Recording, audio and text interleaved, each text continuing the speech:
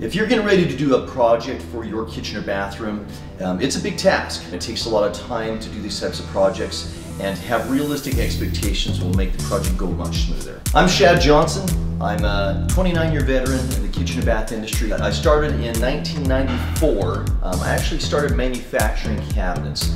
Then I got into selling appliances and then stepped from there into planning um, and designing kitchens. I'm excited to share with you tips, ideas, and advice to help you with your projects. I'm very good with color and with layout and, and product ideas, but most importantly, in helping you to make good decisions on what you're going to do for your project. What a great sign it is that you're here in this channel. My hope is, is that you'll find a lot of value in what I'm doing here for you. So please subscribe, like, comment, ask questions, see if I can be of some help to you, but I'm glad to have you here.